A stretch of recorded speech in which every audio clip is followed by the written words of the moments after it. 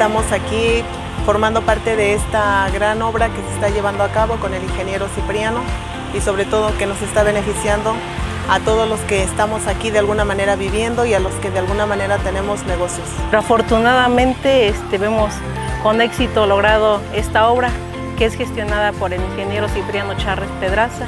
Yo habito este lugar desde 1994. Yo nunca había visto una obra de beneficio en esta, que es la arteria principal, es la calle de acceso a nuestro barrio y a, muchos barrios más que están de este lado a, mis espaldas. Pues la verdad, llevábamos muchos años con las mismas banquetas, las mismas carreteras y de alguna manera pues este es un gran beneficio porque es nuestra entrada principal. Tiene un aproximado de 25 a 30 años sin que se gestionara o llegara un recurso aquí a esta calle. Hoy afortunadamente tenemos este recurso y estamos viendo con éxito que se está culminando. El tránsito se va a agilizar, ya teníamos muchos problemas de congestionamiento de tránsito por los baches, por los hoyos que había en esta parte de la, de la calle. Se va a beneficiar todo mundo, nuestros niños se van a beneficiar, todos esto es, es paso para las escuelas.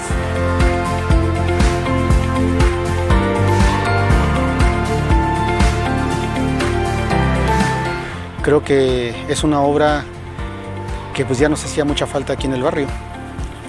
De antemano sabemos que es una necesidad que como vecinos teníamos desde hace muchos años.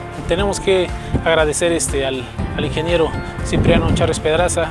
Es este, sinceramente pues nuestro agradecimiento, más sinceros agradecimientos porque por, gracias a él que nos apoyó en las gestiones, en las idas a México, que él nos respaldó y que aún nos sigue apoyando. La verdad pues era pasaban años, pasaban este, políticos, pasaban diputados, presidentes municipales tal vez, y no veíamos ese apoyo, ese respaldo. Sin embargo, ahora, gracias al ingeniero que nos viene, que voltea al FITS y nos viene a apoyar con esta obra. En esta clínica se van a beneficiar aproximadamente, eh, sin temor a equivocarme, entre 40.000 o 50.000 habitantes. Estamos hablando de que el FITSI cuenta con un aproximado entre 30 y 35 mil habitantes y Cantinela de alguna manera se va a venir a beneficiar, el Malle también va a ser uno de los beneficiarios y la Miguel Hidalgo que son las, las, los barrios más cercanos a esta clínica.